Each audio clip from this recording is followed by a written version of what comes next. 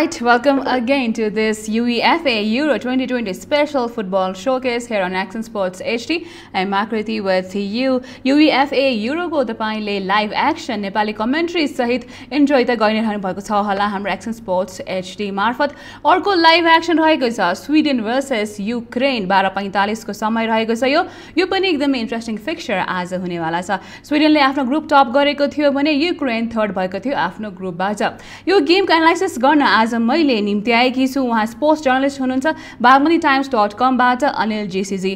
Anilji welcome to our show Euro कतिको लागिरहेछ? युरोको hangover एकदमै एकदमै लागिरहेछ। कति दिन भइसक्यो सुत्न नपाएको? एकदमै धेरै लागिरहेछ। तपाईँ पर्सनली चाहिँ कुन टिमलाई फेभर गर्नुहुन्छ युरोमा? मैले स्पेसली त्यस्तो पनि एउटा कुनै टिम एउटा टिम सपोर्ट गरिरहेको छैन युरोमा।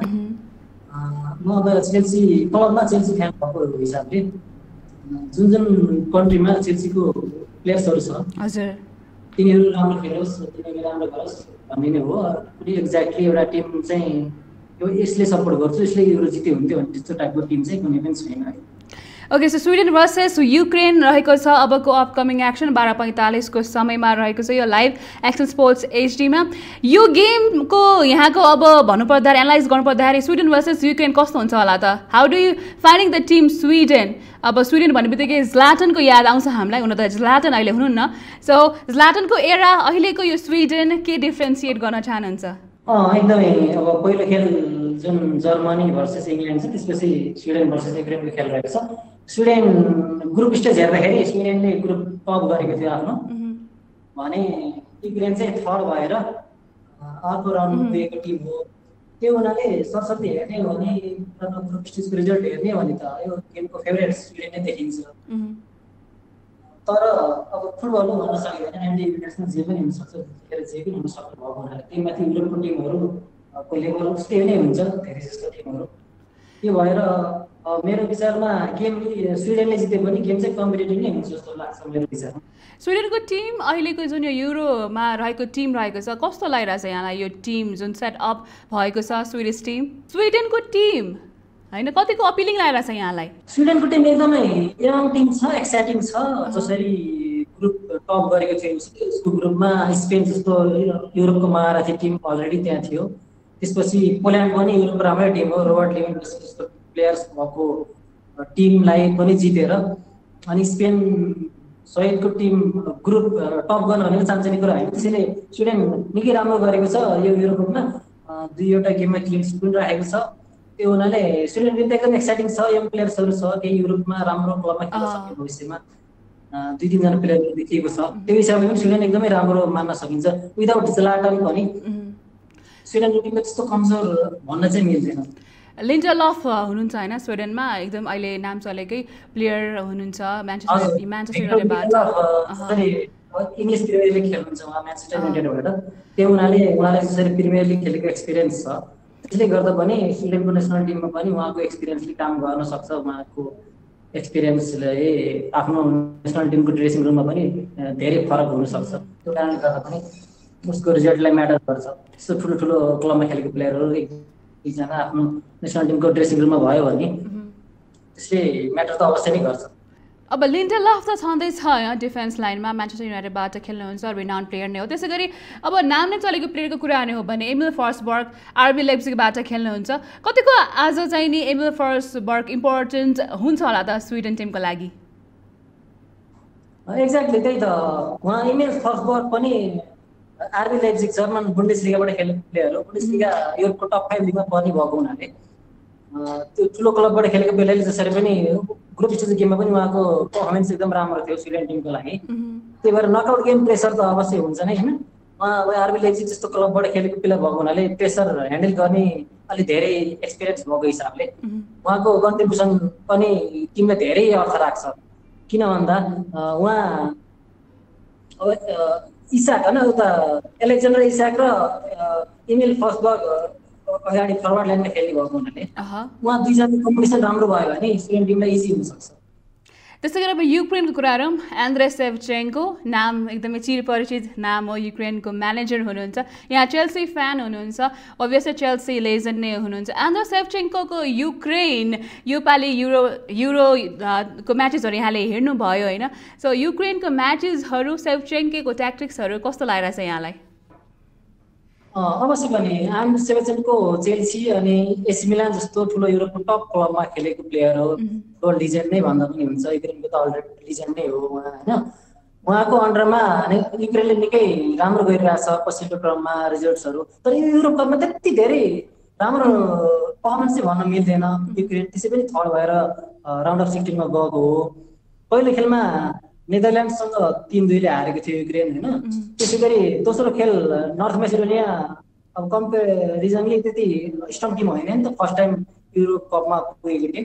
उसैले चाहिँ टु वानले हराएको थियो। अनि लास्ट गेममा अस्ट्रेलियासँग एक जिरोले हारेको बावजुद पनि राउन्ड अफ सिक्सटिनमा गएको टिम हो युक्रेन। त्यही भएर त्यति धेरै अब एकदम कन्भिन्सिङ पर्फर्मेन्स त भन्न मिल्दैन युक्रेनको लागि। तर पनि अब नकआउट गेम थोरै लकले पनि फरक पार्न सक्छ। त्यो पेनाल्टीमा गयो भने होइन त्यो हुनाले। अब आज चाहिँ उहाँको ट्याक्सिस कस्तो हुन्छ त्यो चाहिँ अब हेर्न लायक हुनेछ। किन भन्दा स्विडेन त्यति स्विडेन पनि अब ऱ्याङ्किङमा त्यति माथि भएको टिम त होइन युक्रेन भन्दा होइन। त्यो हुनाले त्यसले साइकोलोजिकली पनि फरक पार्ने हुन्छ। त्यो कारणले आजको ट्याक्टिस उहाँको कस्तो हुन्छ त्यो चाहिँ हेर्नु पर्ने हुन्छ। युक्रेनमा चाहिँ अब जिनसेङ्को कुराहरू म्यानसिटीबाट खेल्नुहुन्छ उहाँ होइन? जिनसेङ्को आजको लागि इम्पोर्टेन्स नै हुनु पर्यो जिनसेङ्गको रोल। हजुर उहाँ म्यानचेस्टर सिटीबाट खेलेको प्लेयर भएको हिसाबले इङ्ग्लिस प्रिमियर लिग खेलिसकेपछि जस्ट अवश्य पनि हाई लेभलकै प्लेयर नै आउँछन् इङ्ग्लिस प्रिमियर लिग खेल्न। त्यस्तो एभरेज लेभलको प्लेयरहरू खासै खेलेको पाइँदैन युरोपको टप लिग नै हो इङ्ग्लिस प्रिमियर लिग त। त्यो हुनाले अलेक्जेन्डर जिन्चेनको पर्फर्मेन्स जसरी अहिले उहाँ लेफ्ट ब्याक पोजिसन भए पनि अहिले मिडफिल्डबाट खेलिरहेको छ युक्रेनको कोचले होइन उहाँलाई। त्यो हुनाले उहाँको प्रदर्शन कस्तो हुन्छ त्यसले पनि फरक त पार्छ नि युक्रेनको टिमको टिमलाई। अब युक्रेन स्विडेन कसको चाहिँ पल्ला भारी देखिरहनु भएको छ? अब यो हिस्ट्री हेर्दाखेरि चाहिँ अहिलेसम्म चारपटक भिडन्त भएको रहेछ युक्रेन र युक्रेन भर्सेस स्विडेनको। त्यसमा चाहिँ अब हेड टु हेडमा चाहिँ युक्रेन नै अगाडि रहेछ तिनवटा गेम युक्रेनले जितेको अनि एउटा गेम मात्र स्विडेनले जितेको अवस्था छ अहिलेसम्म हेर्दा। आज भने कम्पिटेटिभ गेम फिफ्थ गेम उनीहरूको इच अदरमा खेल्ने अब आज चाहिँ मैले ग्रुप स्टेजको फर्म रिसेन्ट फर्म अनि ग्रुप स्टेजको गेम हेर्दाखेरि स्विडेन नै फेभरेट्स देख्छु आज गेमको लागि त तर नकआउट गेम हो भन्न सकिँदैन हिजो अस्ति पनि अनएक्सपेक्टेड रिजल्टहरू आएको छन् चेक रिपब्लिकले जसरी नेदरल्यान्ड्सले हरायो त्यस्तै गरी हिजो स्विजरल्यान्डले पनि फ्रान्सले हरायो त्यसरी फुटबलमा भन्न त सकिँदैन नाइन्टी मिनट जो राम्रो खेल्छ त्यसैले जित्ने हो गेम अगाडिको रिजल्टले केही फरक त पार्ने होइन तर पनि मेरो विचारमा गेम स्विडेनले जित्छ तर युक्रेन पनि कमजोर अब हार्छ नि भन्न सकिँदैन। गेम कतिको टफ हुन्छ? नाइन्टी मिनट फिनिसर हुन्छ कि एक्स्ट्रा टाइममा जाला आज? प्रेडिक्सनै गर्नुपर्दा मेरो विचारमा नाइन्टी मिनटभित्रै फुल रिजल्ट आउँछ जस्तो लाग्छ। मेरो मेरो प्रेडिक्सन चाहिँ Sweden two Ukraine one okay so यो गेम लाइभ छ है एक्सन स्पोर्ट्समा नेपाली कमेन्ट्रीको साथमा. तपाईँले कतिको हेर हेरिरहनु भएको छ एक्सन स्पोर्ट्समा नेपाली कमेन्ट्री कस्तो लागिरहेछ यहाँलाई? एकदमै यो एकदमै नयाँ प्रयास एक्सन स्पोर्ट्सलाई धेरै धेरै धन्यवाद भन्न चाहन्छु। किन भन्दा जसरी पछिल्लो क्रममा नेपालमा फुटबल फ्यानहरू बढिरहेका छन् हेर्ने जसरी युरोपियन फुटबलहरू एकदमै फलो गर्ने फ्यान नेपालमा क्रेजी फ्यानहरू धेरै छ त्यो हिसाबले अब नेपाली फ्यानहरूले सहज त इङ्ग्लिस कमेन्ट्री लाग्न सक्छ। तर जसरी पनि हुन्छ नि इन्डियामा जसरी हिन्दी कमेन्ट्रीदेखि लिएर इन्डियाको धेरै ल्याङ्ग्वेजहरूमा अहिले कमेन्ट्री गरिरहेछ पोस्ट म्याच प्रि म्याच चलाइरहेको छ आफ्नो आफ्नो लोकल ल्याङ्ग्वेजहरूमा। त्यसै गरी एक्सन स्पोर्टले यो नेपाली ल्याङ्ग्वेजमा कमेन्ट्री सुरु गर्नु अनि पोस्ट म्याच प्रि म्याच गर्नु एकदमै सकारात्मक कुरा मान्नुपर्छ। आफ्नो ल्याङ्ग्वेज भनेको आफ्नो ल्याङ्ग्वेज हो। आफ्नो ल्याङ्ग्वेजमा हेर्नुको मजा नै छुट्टै हुन्छ। हामीले इङ्ग्लिसमा हेरौँ अथवा इङ्ग्लिस ल्याङ्ग्वेज जसरी पनि अब युनिभर्सल ल्याङ्ग्वेज भएकोले सहज सजिलो अनि उत्कृष्ट त जसलाई पनि लाग्छ। होइन तर आफ्नो ल्याङ्ग्वेजमा हेरेको अवश्य पनि राम्रो हो। एकदम राम्रो छ। मैले हेरिरहेको थिएँ। हिजोको गेम पनि मैले हेरेको फ्रान्स भर्सेस क्रोएसिया। एकदमै गेम पनि उत्कृष्ट थियो। अनि कमेन्ट्री पनि जस राम्रो इम्प्रुभ भइरहेको दिनका दिन कमेन्ट्री टिमलाई पनि एकदम इम्प्रुभ गरिरहेछ मेरो विचारमा। अझै धेरै गर्न बाँकी छ। त्यो बल्ल सुरुवात हो होइन। अझै धेरै गेमहरू धेरै टुर्नामेन्टहरू कमेन्ट्री गर्दै जाँदा भन्ने कुरा हो। अब त्यही भएर एकदम सकारात्मक मान्नुपर्छ एकदम एक स्पोर्टलाई त धन्यवाद नै दिनुपर्छ यसको लागि you so much. Thank you, Anilji. And uh, yes, enjoy Garno, your match. And thank you for joining in, Aza. Thank you so much. हस् मलाई यो अवसर दिनुभयो तपाईँलाई धेरै धेरै धन्यवाद अनि तपाईँको जुन एक्सन स्पोर्ट टिम छ उसलाई पनि धन्यवाद र गेम इन्जोय गरौँ अरू फ्यानहरूले के भन्न चाहन्छु भने फुटबल एकदम ब्युटिफुल गेम सबैले इन्जोय गरौँ अनि रमाइलो गरौँ अब कोरोनाको बेला यस्तो भए पनि होइन राति गेम हुन्छ नेपाली टाइम त अलि गाह्रो नै हुन्छ तर पनि समय मिलाएर कसरी हुन्छ गेम हेरौँ इन्जोय गरौँ त्यही नै भन्न चाहन्छु। Thank you so much